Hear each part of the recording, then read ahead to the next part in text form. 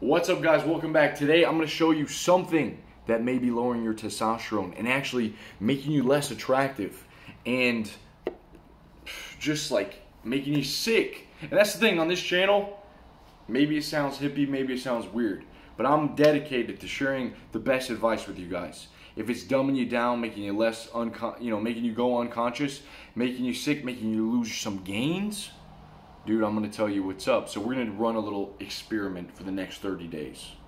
And I have to tell you guys, I've been using this deodorant for years. Not this exact kind, but you know, Old Spice, check it out. Everyone's probably used Old Spice.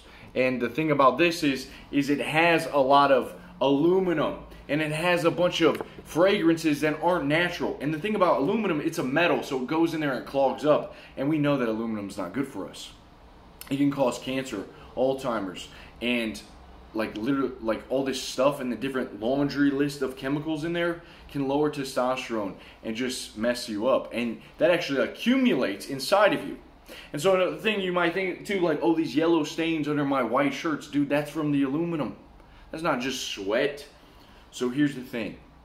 You're putting this stuff on, and what it's doing is actually blocking your natural scent, your pheromones that are supposed to attract the ladies, the females. You know what I'm saying? And it's weird. The whole reason I'm making this video is because my girlfriend decided to do a detox. And she was reading these studies about detoxing. It takes about a week to 30 days. And at first, she did have a little bit more of a, a pungent smell to her. And I'm like, baby, you sure about this? And she's like, yeah, I'm going to keep going. I'm like, all right.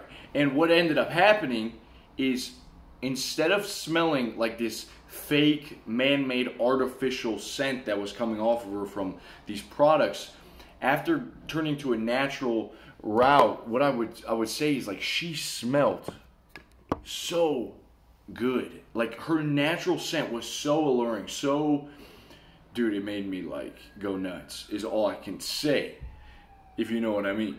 So I'm telling you guys, this was like, damn, this that one thing.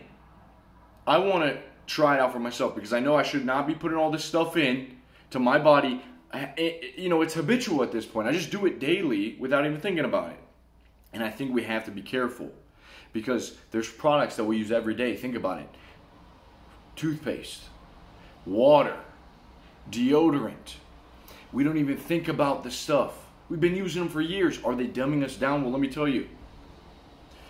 Water and toothpaste have sodium fluoride. Sodium fluoride has been shown to calcify the third eye, also known as the pineal gland. All right, and this is real stuff. I'm not making this up. And uh, dude, I think that we need to be on guard at what we're putting in our bodies. And you guys don't think that this is affecting us deeper? If you put a nicotine patch on your skin, the body absorbs it. If you put testosterone cream on your skin, the body absorbs it. It goes into you. The skin can can uh, suck things into it. So you're putting on your underarms. You better believe that it's going into you and it, it's doing something. So uh, a buildup of aluminum in your brain? No thanks, man. I don't want that. So let me show you guys. I was using this. For the next 30 days, I'm going to switch to this stuff. And this is called Stink Bug Naturals. It is a vanilla, mint, and charcoal scent. It actually has charcoal in it, um, stuff like coconut oil, um, some a bunch of natural fragrance, okay? And it smells very nice. It reminds me of a certain type of like uh, mint chocolate bar. And it's so, actually smells freaking great, okay? I got this for about four bucks at Walmart. And there's a couple different natural brands, Tom's, and uh, a couple other names I forgot, but I'm gonna give this a shot. Try it out, guys. Look, let's do it. We could do it for at least a week. See how it treats us. If we smell really bad, then you know, you, you know, maybe go back. Tr find something that's a little more natural, not the, not the name brand. You know, Axe, Dove, Old Spice. Let's get away from those guys. Even the Gillette stuff. You know what I'm saying? Remember that Gillette commercial?